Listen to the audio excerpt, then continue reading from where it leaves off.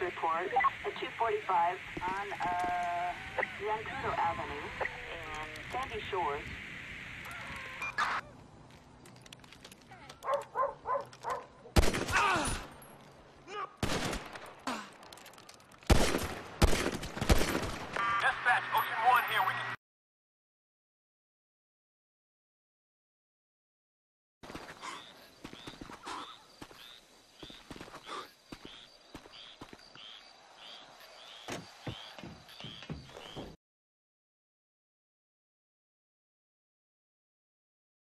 Out you get, buddy!